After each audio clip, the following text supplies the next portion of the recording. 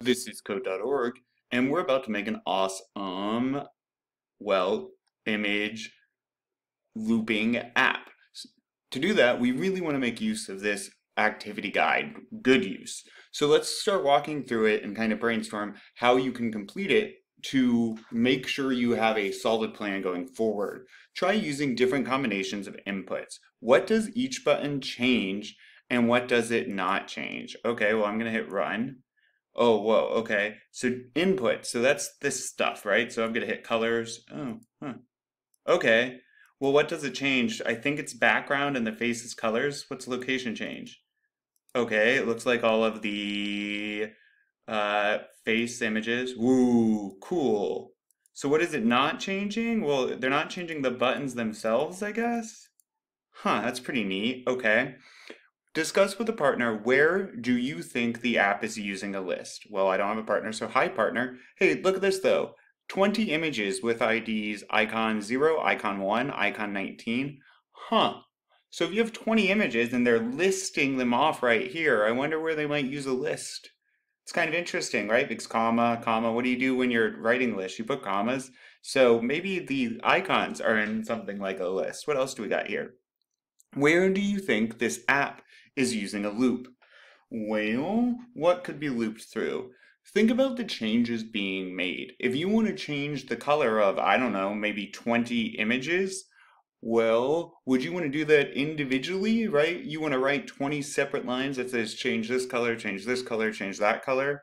Hmm, that seems like a lot of work when you could just put a, uh, when you could just write a few lines and ask the computer to repeat them. So maybe when they're making those adjustments to the different images, right? When they're changing the size or the location, maybe that's when a loop is being used because it's so much easier to ask the computer to repeat it on its own for how many images? 20, rather than doing it or writing it 20 times. All right, fill in the information in the table below for each event handler you need to create this.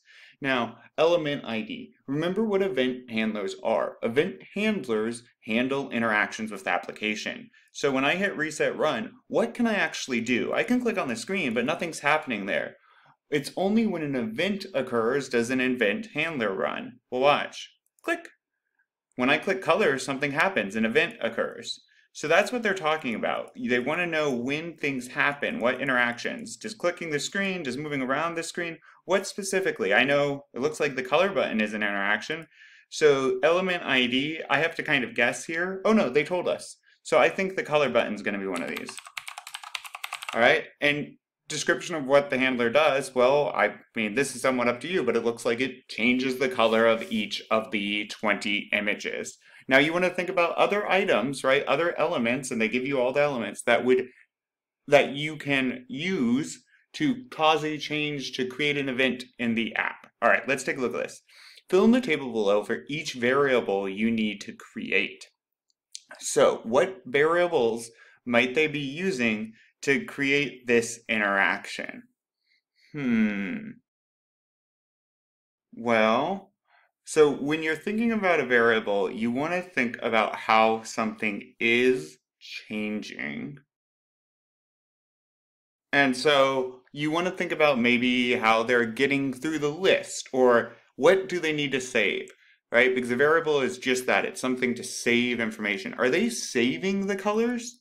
I mean, the colors look somewhat random to me. And if they're totally random, I don't think you would need to save them. So I'm not, I mean, I would have to look at this more closely, but something entirely random, you usually wouldn't need to save. If the location's entirely random, hmm, because if it's random, you're not reusing the same thing over and over again. What about like this shape? Well, I'm not reusing, they all don't go to one location, right? So that wouldn't make sense for a variable because they're appearing all over the place. Are all their colors the same? No, it doesn't look like that either. So I don't know, that seems more randomized. But the shape, we might be using something here over and over and over again. What is it? Well, the shape, right? So we asked the 20 pictures to have a icon of a tree. We don't ask 20 pictures to go to the same place because this is randomized. We don't ask 20 pictures to have the same color or icons because this is random, right? All of them are different. So we just random on the fly, random on the fly it looks like. but I'm pretty sure shapes would need to be a variable because you're going to ask it 20 times over to be that shape. So how are we going to store that information? So that would be prime candidate for a variable, uh, variable name. So I would say something like icon image maybe.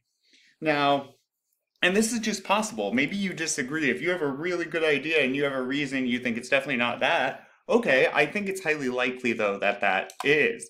Now, another variable for this, I would think about how they're getting through the list, right? How are you going to keep track of where you are in a list without a variable, for instance? Or maybe you're thinking they're basing all of their colors off of a single starting color. That could be a good idea as well.